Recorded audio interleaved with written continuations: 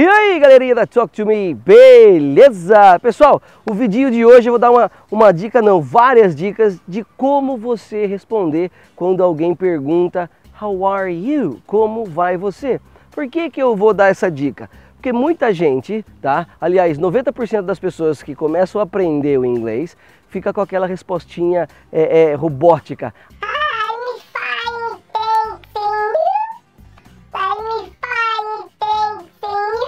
Então eu vou dar aqui, tá? Duas formas de você é, responder a um How are you, ok? Quando você está realmente se sentindo bem e quando você também não está muito legal, beleza? A primeira é a mais comum, é o I'm fine, só que ao invés de você usar I'm fine, thanks and you, você vai usar I'm fine, how about you?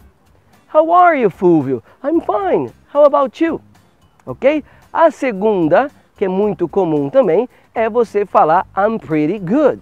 How are you, Fulvio? I am pretty good. Eu estou muito bem, ok? A terceira é uma forma que eu particularmente adoro usar porque eu estou sempre ótimo, ok? Fulvio, how are you today? I'm great. Estou ótimo.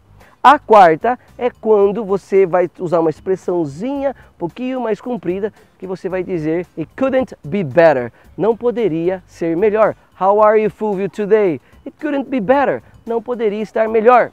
E a última é a expressãozinha can't complain. How are you today? I can't complain. Eu não posso reclamar. Essas quatro forminhas aí você vai usar para quando você estiver se sentindo bem.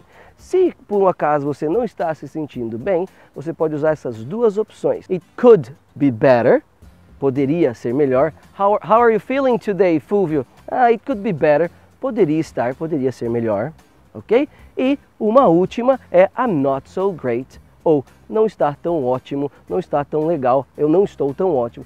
How are you, Fulvio? I'm not so great, tipo, não estou tão legal.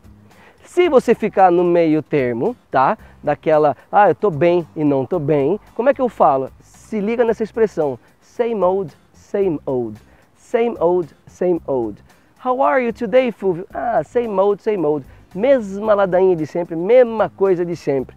Beleza, garotinho? Beleza, garotinha? Então é isso. Muito obrigado por assistir mais esse vídeo. Não se esqueça de inscrever no canal, tá? Dar uma curtida, compartilhar com a galera, ok? E voltar aqui terça-feira para a gente aprender mais uma dica. Beleza? Fui!